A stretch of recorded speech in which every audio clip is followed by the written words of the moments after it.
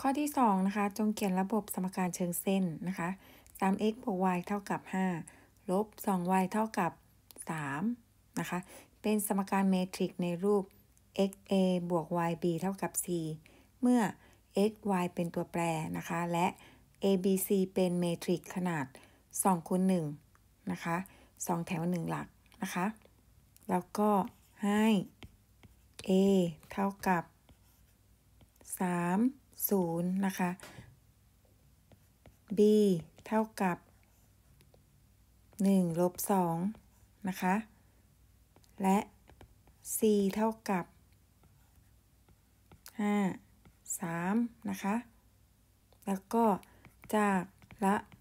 บบสมการเชิงเส้น จะ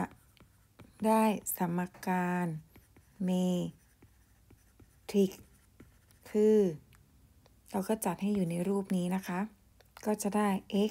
คูณกับ a คือ 3 0 บวก y b คือ 1 ลบ 2 เท่ากับ c คือ